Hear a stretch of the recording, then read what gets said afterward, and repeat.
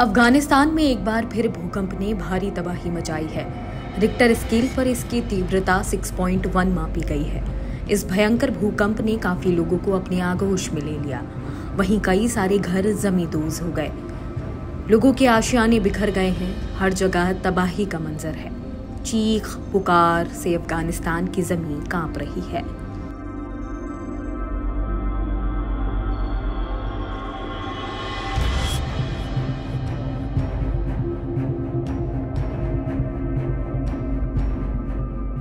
अफ़गानिस्तान में आए इस भूकंप ने लगभग 2000 लोगों की जान ले ली। साथ ही बड़ी संख्या में लोग घायल भी हुए हैं। इस भारी भूकंप ने अफ़गानिस्तान के हैरात शहर को पूरी तरह से तबाह कर दिया है। शहर की कई इमारतों को भारी नुकसान पहुँचा है। लोग अभी भी मलबे के ढेर के नीचे फंसे हुए हैं। ज़िंदा बचे लोग खौफनाक मंजर बयां कर रहे हैं।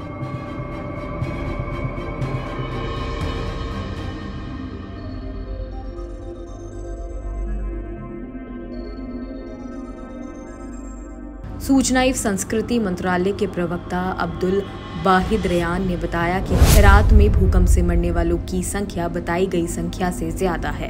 लगभग छह गाँव इस भूकंप की चपेट में आए हैं और सैकड़ों नागरिक मलबे के नीचे दब गए हैं।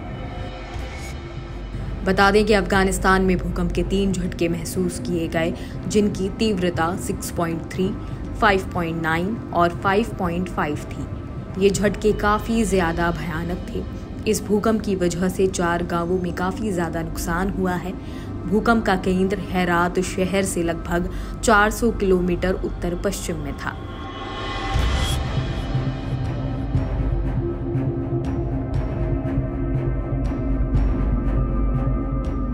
भूकंप क्यों आते हैं? पृथ्वी के अंदर 700 प्लेट्स हैं जो लगातार घूम रही हैं। जहाँ ये प्लेट्स ज़्यादा टकराती हैं वे जोन फ़्लाइट लाइन कहलाता है। बार बार टकराने से प्लेट्स के कोने मुड़ते हैं। जब ज़्यादा दबाव बनता है तो प्लेट्स टूटने लगती हैं। नीचे की एनर्जी बाहर आने का रास्ता खोजती है। डिस्टरबेंस के बाद भूकंप आता है। इन्हें टेक्टोनिक प्लेट्स कहते हैं। इसके कारण भूकंप के अलावा ज्वालामुखी विस्फोट की आशंका भी रहती है। फ्लॉट को लेकर कई परिभाषाएँ दी गई हैं। इनमें normal fault, thrust fault, strike, slip fault left lateral strike slip fault और right lateral strike slip fault प्रमुख है। इसके कारण धरती कांपने लगती है। मालूम हो कि प्रशांत महासागरीय क्षेत्र के अलावा हिंद महासागर के कुछ क्षेत्र भूकंप के लिहाज से काफ़ी संवेदनशील माने जाते हैं। फ़िलहाल इस खबर में सिर्फ़ इतना ही, बाकी और खबरें देखने के लिए जुड़े रहिए जनसत्ता के साथ।